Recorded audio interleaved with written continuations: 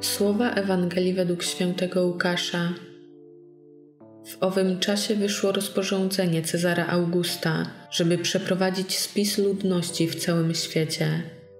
Pierwszy ten spis odbył się wówczas, gdy wielkorządcą Syrii był Kwiryniusz. Podążali więc wszyscy, aby się dać zapisać, każdy do swego miasta. Udał się także Józef z Galilei, z miasta Nazaret, do Judei, do miasta Dawidowego, zwanego Betlejem, ponieważ pochodził z domu i rodu Dawida, żeby się dać zapisać z poślubioną sobie Maryją, która była brzemienna. Kiedy tam przebywali, nadszedł dla Maryi czas rozwiązania.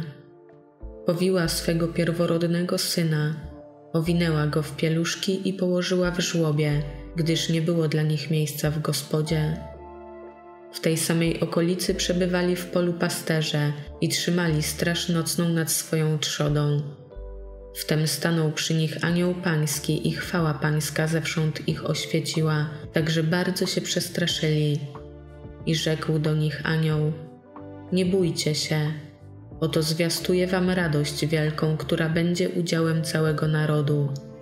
Dziś bowiem w mieście Dawida narodził się wam Zbawiciel, którym jest Mesjasz Pan a to będzie znakiem dla was.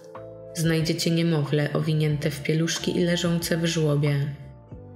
I nagle przyłączyło się do anioła mnóstwo zastępów niebieskich, które wielbiły Boga słowami: Chwała Bogu na wysokościach, a na ziemi pokój ludziom, w których sobie upodobał.